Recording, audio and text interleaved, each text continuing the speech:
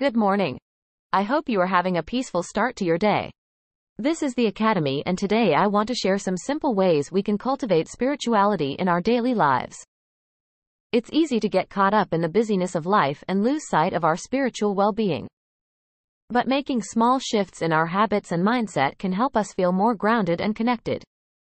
To start, I suggest taking just 5 to 10 minutes in the morning to meditate, reflect, or pray. Find a quiet space, focus on your breath, and open your heart. This helps set the tone for a mindful day.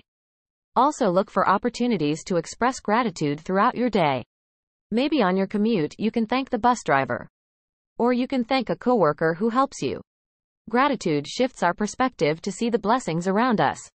When challenges arise, remember to lead with compassion, both for others and for yourself.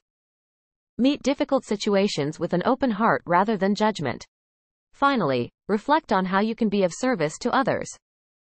This could mean volunteering for a cause you care about, or simply holding the door for someone. Small acts of service remind us of our shared humanity. Integrating these simple habits into each day helps nurture the spirit and sustain us through life's ups and downs. For more tips, check out resources through local spiritual centers or look for books on spiritual practices.